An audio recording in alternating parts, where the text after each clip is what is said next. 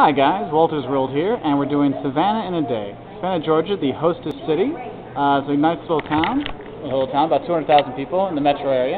Has all kinds of uh, wonderful housing, nice little museums, all kinds of stuff. They spurred a lot of uh, historical preservation in the U.S., especially in the South. And it's one of the big cities for. There's a lot of beautiful uh, town or house museums to go see when you're here. And what we're going to do today is we're going to take a trolley tour. We're going to see some of the city and stop at some of the major sites that you can see in a day. So if you're just coming down for a weekend from Atlanta, or if you're visiting from anywhere in the world, it's a nice place to come see. So it's a big tourist destination, and I recommend you come by and see it. So come with me, Wolters World in a Day, Savannah.